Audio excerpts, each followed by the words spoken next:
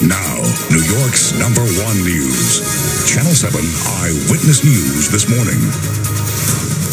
This morning, police are looking for the person who shot a five year old little girl while she sat in a car in the Bronx. The little girl is in the hospital right now in serious but stable condition. We also continue to monitor the air. Look at that smog there uh, from the smoke from the wildfires in Canada continue to cause problems for the tri state area.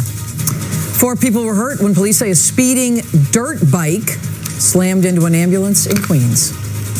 And the Biden administration considers its next steps after the Supreme Court rejected his student loan relief plan. Good morning, everyone. Happy Saturday morning. I'm Michelle Charlesworth. I'm Toni Yates in for Mike Marza and meteorologist Brittany Bell. Here now with our first look at the AccuWeather.